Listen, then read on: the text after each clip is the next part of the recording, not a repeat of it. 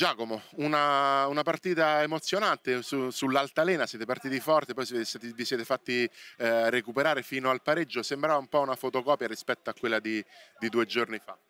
Sì, guarda, devo dire che è stata veramente una bella partita. Veniamo da due settimane dove abbiamo caricato tanto, abbiamo lavorato tanto per i prossimi impegni appunto della World Cup e poi i mondiali di Fukuoka davanti a questo pubblico poi comunque ti dà una grande spinta, quindi magari nel quarto tempo eravamo un po' più stanchi, però davanti a non so quante mila persone diciamo che ci ha dato quella forza in più per fare l'ultimo passo. È veramente un'emozione indescrivibile, soprattutto per me tornare qua in questa piscina dove sono cresciuto.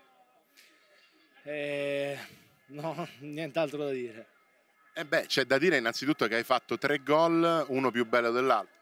Sì, vabbè, quello ti ho detto è un po' l'emozione, un po' che ci pensavo a questa partita, devo dire, perché tornare qua, appunto dove dicevo, dove ho iniziato a giocare le partite importanti di Serie A, è veramente bello, quindi ci pensavo, dicevo potrebbe essere una bellissima partita con un pubblico appunto molto caldo come quello di Roma e vabbè, i gol quello sono frutto de, sempre de, del lavoro della squadra.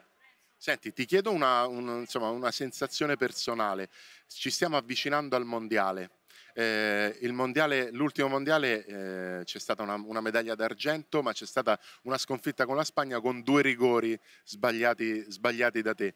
Ce l'hai un sassolino dalla scarpa? Da, nella scarpa da, da, toglierti, insomma ci pensi, è un pensiero. Quello certo ci pensi molto spesso, ogni allenamento che fai, quando magari vai a tirare i rigori in allenamento, ci penso sempre, è inevitabile, però devo dire che lo sport magari è fatto così e sicuramente se lavori tanto, se lavori bene, ti darà sicuramente un'altra occasione.